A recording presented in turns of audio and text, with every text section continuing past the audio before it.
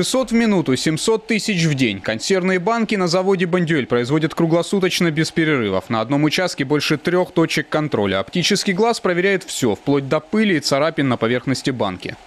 Здесь попал какой-то мусор внутрь банки. Видеосистема определила и выбросила эту банку. В прошлом году консервщики Кубани в прямом смысле закатали рекорд. Впервые в истории России они произвели 1 миллиард 200 миллионов банок. Самый популярный наполнитель – зеленый горошек.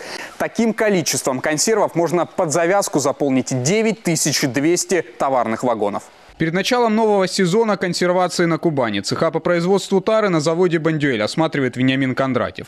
Сбор горошка начнется в июне, но банки готовят уже сейчас. Часть кукурузы, помидоров, зеленого горошка на заводе выращивают сами, остальное добирают у фермеров. Нашего кубанского селянина не надо заставлять э, выращивать. Он будет это делать при условии, если он будет гарантированно понимать, что у него будет сбыт.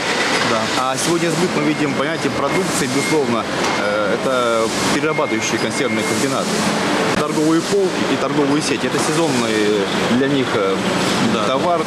Вы готовы и можете консервировать и на самом деле круглогодично закупать. Основная проблема всех переработчиков как раз поиск сырья, желательно от кубанского производителя. Об этом руководители крупнейших консервных заводов и губернатор говорят уже во время неформальной встречи прямо на заводе. Потребность у нас более 300 тысяч тонн, более 300 тысяч тонн. Причем э, распределяется так. Предприятия перерабатывающей промышленности производят, собственно, на своих полях 55%. 35% сельхозпроизводители, фермеры Кубани. И 10% мы вынуждены, к сожалению, мы не говорим, что нам выгодно, вынуждены завозить в других регионов. Это порядка 25-30 тысяч тонн. Надо просто прекращать, когда на самом деле это порочный круг, когда везут сырье из других регионов России для нашей кубанской переработки. У нас что, своей земли нет, у нас что, климат плохой. И фермеры должны быть объединять их в кооперативы, они сами по себе тоже не выживут ну, на новый уровень вы выводите из сельского хозяйства, и, и тогда и переработка может подключиться к тому, чтобы они тоже новый уровень выходили. Изменить ситуацию можно только увеличив объемы выращиваемой на Кубани продукции. Но в этом случае даже господдержка всего лишь процент от успеха, соглашаются сами переработчики. Фермеры и консервные заводы должны целенаправленно работать друг на друга. Почему здесь не перейти на то, что делают сегодня сахарные заводы? То есть они кредитуют сегодня под будущий урожай э, сегодня фермеров, которые выращивают для них свеклу. Э, вот что делает сегодня Бандуэль?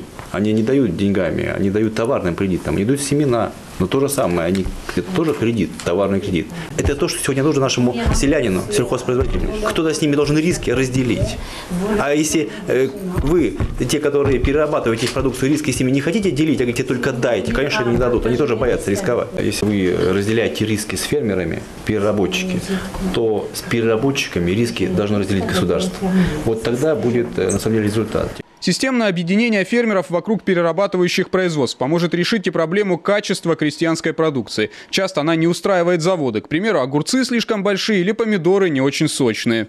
Решение этой проблемы лежит в создании логистических сетей э, между фермером и переработчиком для того, чтобы у фермера было понимание уже в декабре месяце, что у него э, в будущем сезоне есть э, возможность продать этот урожай, который вырастет. И самое главное, техническое задание от консервной промышленности, переработчиков, что необходимо выращивать. При таком подходе к делу через три года кубанские консервные заводы смогут полностью работать на местном сырье, уверены в Минсельхозе. И у нас была кубанская переработка, очень мощная была.